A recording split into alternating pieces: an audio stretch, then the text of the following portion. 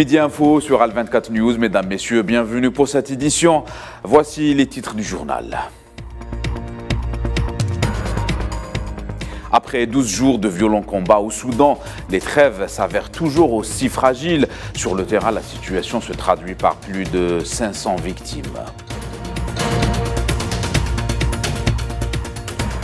Le ministre des Affaires étrangères algérien Ahmed Daataf, reçu par le président de la transition au Mali, Assimi Goïta, à qui il remet une lettre du président algérien Abdelmajid Tebboune.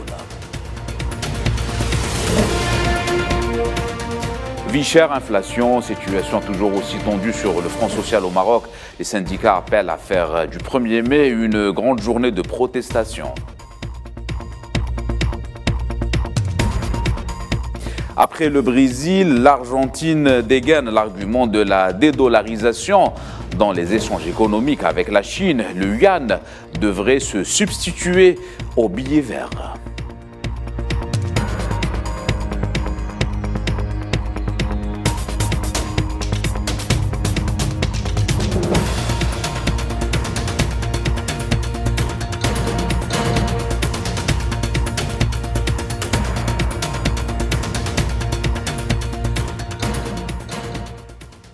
Voilà pour les titres. Euh, bonjour à tous. La situation au Soudan reste très tendue, marquée par de violents combats entre les forces de soutien rapide et l'armée soudanaise depuis le 14 avril dernier. Et ce, malgré les quatre tentatives de trêve et les médiations internationales. Le point sur euh, la situation au Soudan avec euh, Naïla Hamouda. Il n'aura tenu que quelques heures le cessez-le-feu négocié entre les chefs militaires rivaux soudanais sous l'égide des États-Unis. Les combats entre l'armée soudanaise et les paramilitaires des FDS ont repris ce jeudi. Les deux parties s'affrontent dans des combats meurtriers malgré la trêve de 72 heures. Des colonnes de fumée noire obscurcissent les alentours du palais présidentiel à Khartoum et la zone de Kafouri dans le centre de Khartoum Nord. Des avions de l'armée ont survolé la région. Une situation qui fait craindre l'embrasement général malgré les appels incessants de la communauté internationale qui invite les deux camps à la table des négociations pour arriver à établir un cessez-le-feu permanent. La capitale soudanaise est en grande partie désertée. Les habitants encore sur place se terrent et profitent des accalmies pour chercher à se procurer les produits les plus essentiels qu'ils peuvent encore trouver. La situation humanitaire se détériore davantage. Le pays sombre dans le chaos. Selon la Croix-Rouge internationale au Soudan, 6 millions de personnes sont dans le besoin. La situation sanitaire est tout aussi grave. 60 hôpitaux sur 86 dans les zones d'affrontement sont désormais hors service. Certains d'entre eux ont même été convertis en base militaire. Le comité central des médecins soudanais a annoncé que le nombre de morts civiles depuis le début des affrontements est passé à 303.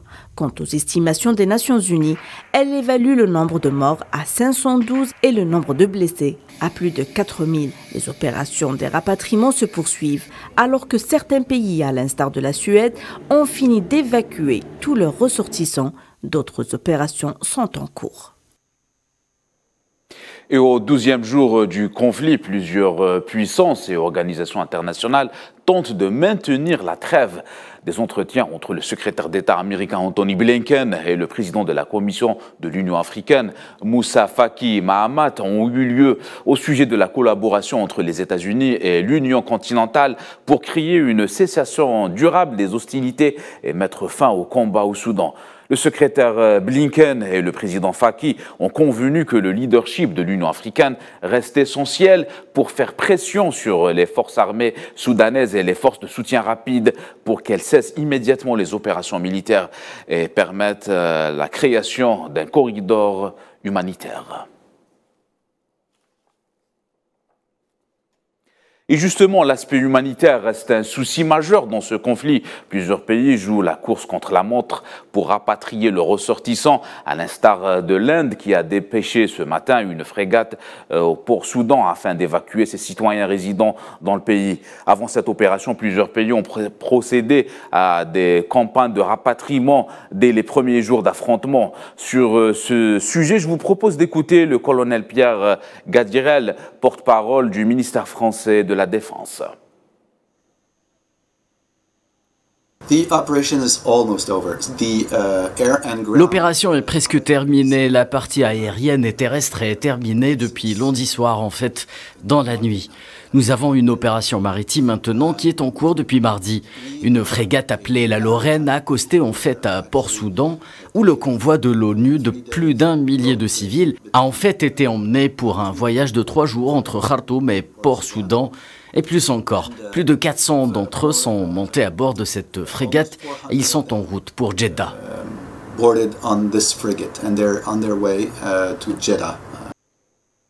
Le risque est humain, mais aussi euh, biologique après, la prise d'un laboratoire euh, soudanais par l'une des deux parties belligérantes.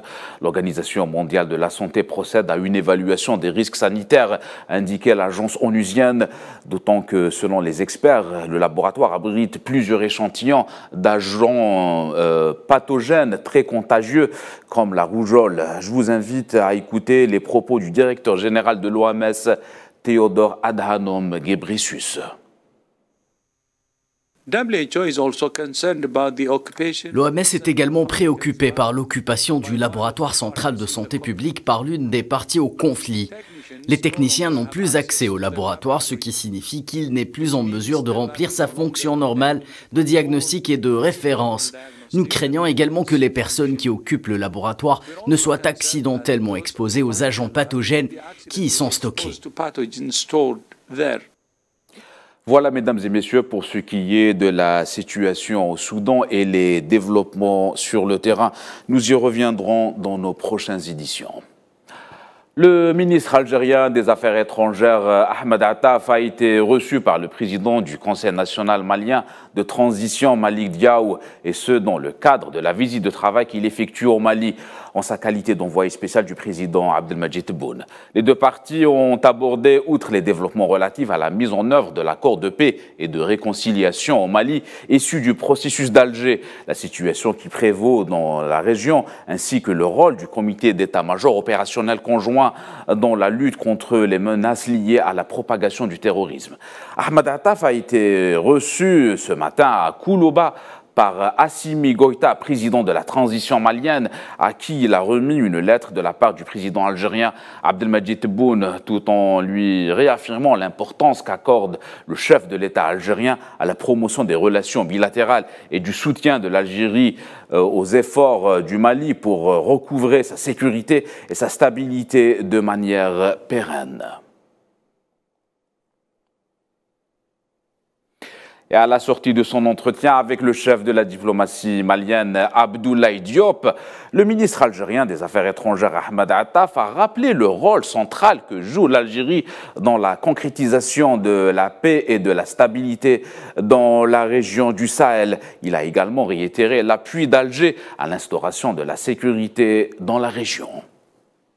Ce n'est un mystère pour personne que la région du Sahel est une région de qui est une source de grande préoccupation pour l'ensemble des pays de cette région, y compris pour l'Algérie. Il était donc naturel que je vienne ici. Mais il n'y a pas que ça. Il n'y a pas seulement la situation sécuritaire qui prévaut dans cette région, il y a aussi la densité des relations bilatérales que mon pays entretient avec les pays de cette zone. J'étais en Mauritanie, je suis aujourd'hui au Mali et euh, ma prochaine destination sera le, Niger, je peux vous assurer que la, coopération algéro-malienne a de très belles perspectives devant elle. Dossier Sahraoui pour s'intéresser à la société civile espagnole qui soutient et affiche son positionnement par rapport à la cause sahraoui dans sa quête d'indépendance, un positionnement carrément à l'opposé de celui de Pedro Sanchez, le chef de l'exécutif, qui à ses risques et, périls semble avoir euh, choisi son camp.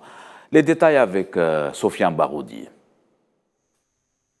La coordination espagnole des associations solidaires avec le Sahara occidental a exprimé clairement dans une lettre ouverte adressée au chef du gouvernement Pedro Sanchez que la société civile espagnole qu'elle représente ne trahira et n'abandonnera jamais le peuple sahraoui, qui est le seul habilité à décider de son avenir à travers un référendum d'autodétermination. La coordination a également réitéré sa ferme condamnation de ce qu'elle a qualifié de revirement inattendu et unilatéral. La lettre relève également que le pas unilatéral de Sanchez constitue une déviation totale de la voie suivie par la politique étrangère de Madrid depuis un demi-siècle, en rappelant que l'Espagne était la puissance administrante du territoire du Sahara occidental, toujours en attente de décolonisation. La coordination de la société civile a également affirmé que le peuple sahraoui ne marchera jamais seul sur le chemin de l'exercice de son droit libre à l'autodétermination et à l'indépendance. Sanchez nous exhorte à expliquer nos positions sur le Sahara occidental et le Maroc. La mienne se résume en deux mots, la légalité internationale et la démocratie. Quand je parle de légalité internationale, je veux dire le respect des résolutions des Nations Unies qui exhortent les deux parties à reprendre les négociations afin d'arriver à une solution juste et durable et acceptable qui consacre l'autodétermination du peuple du Sahara occidental dans le cadre des dispositions des résolutions des Nations Unies.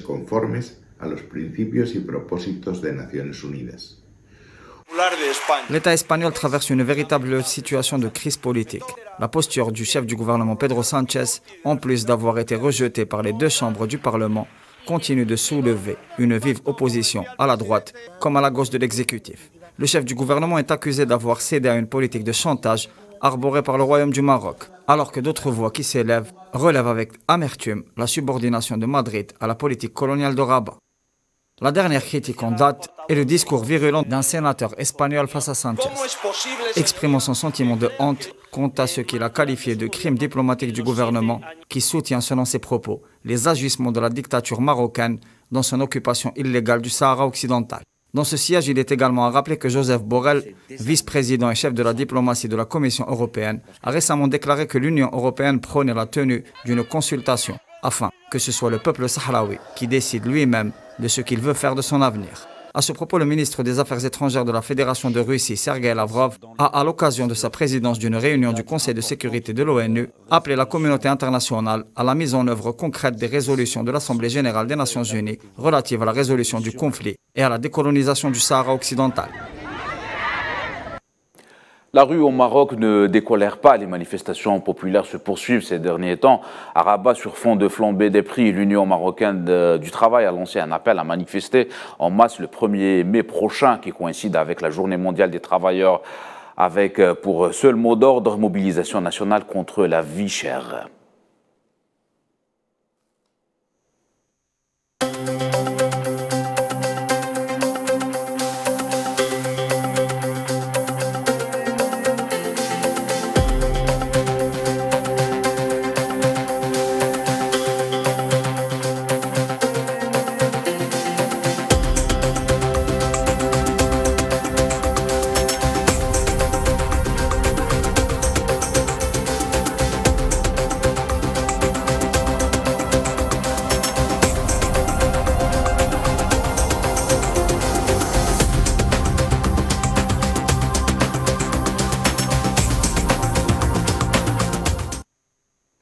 Conseiller d'État et ministre des Affaires étrangères de la Chine, Qin Gang, s'est entretenu séparément avec euh, les hauts diplomates des pays d'Asie centrale venus en Chine pour la quatrième réunion des ministres des Affaires étrangères Chine-Asie centrale à Xi'an, dans la province chinoise de Shanxi. Selon Qin Gang, la Chine soutiendra fermement, comme toujours, les pays d'Asie centrale dans la sauvegarde de leur souveraineté nationale, de leur indépendance et de leur sécurité et de leur intégrité territoriale.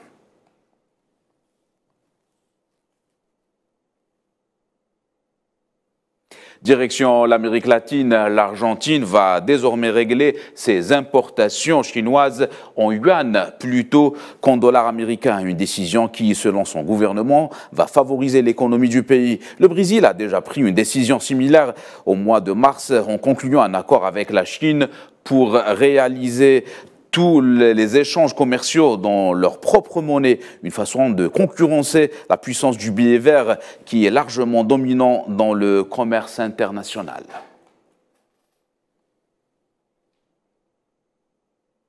Voilà, c'est la fin de cette édition. L'actualité continue sur Al24 News. Excellent après-midi à tous.